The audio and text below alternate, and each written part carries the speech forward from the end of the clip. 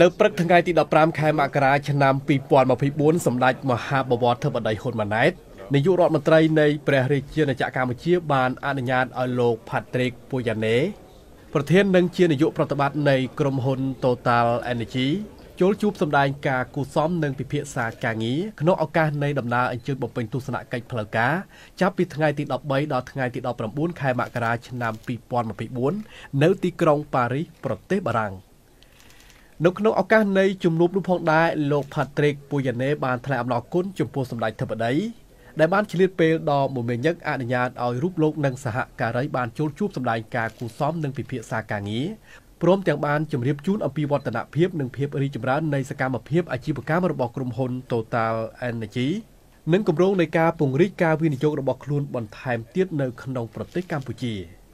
លោកប្រធាននិងជានាយកប្រតិបត្តិបានគោរពជម្រាបជូនសម្ដេចធិបតីថាក្រុមហ៊ុន Total Energy គឺជាក្រុមហ៊ុនដែលមានកិត្តិនាមល្បីល្បាញលើវិស័យប្រេងនិងឧស្ម័ននៅព្រះរាជាណាចក្រកម្ពុជាហើយក្រៅពីវិស័យនេះក្រុមហ៊ុនក៏មានអាជីវកម្មលើវិស័យថាមពលអគ្គិសនីផងដែរ។ ក្នុងន័យនេះលោកប្រធាននិងជានាយកប្រតិបត្តិក្រុមហ៊ុនក៏បានបង្ហាញអំពីបំណងក្នុងការស្វែងរកឱកាសលើវិស័យធម្មពលកើតឡើងវិញ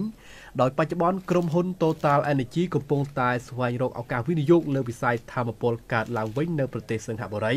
ហើយជោគជ័យនៃគម្រោងនេះនឹងជំរុញដល់ការវិនិយោគលើវិស័យធម្មពលកើតឡើងវិញនៅកម្ពុជា ដែលនឹងធ្វើឲ្យកម្ពុជាកាន់តែមានជំរើសធម្មពលបន្ថែមទៀត។ ជាការឆ្លើយតបសម្ដេចធិបតីនាយករដ្ឋមន្ត្រីនៃព្រះរាជាណាចក្រកម្ពុជាក៏បានស្វាគមន៍ចំពោះលោក Patrick Pouyanné និងសហការីនឹងបានបង្ហាញនូវក្តីរីករាយនិងគាំទ្រចំពោះគម្រោងរបស់ក្រុមហ៊ុន ក្នុងការបោះទុនវិនិយោគនៅក្នុងប្រទេសកម្ពុជា លើវិស័យធម្មពលកើតឡើងវិញពីព្រោះថាកម្ពុជាគឺមានគោលដៅច្បាស់លាស់ក្នុងការជំរុញបង្កើតធម្មពលកើតឡើងវិញនេះ សម្ដេចបានបង្ហាញនូវការគ្រប់គ្រងនិងផ្ដល់នូវកិច្ចសហប្រតិបត្តិការលើការវិនិយោគនៃការតភ្ជាប់បណ្ដាញចរន្តអគ្គិសនីក្រោមបាតសមុទ្រពីកម្ពុជាទៅសិង្ហបុរីផងដែរសម្ដេចធិបតីក៏បានលើកទឹកចិត្តនិងជំរុញឲ្យក្រុមហ៊ុនបន្តកិច្ចសហការជាមួយនឹងក្រសួងស្ថាប័នពាក់ព័ន្ធជាពិសេសក្រសួងរ៉ែនិងធម្មពលរបស់ព្រះរាជាណាចក្រកម្ពុជា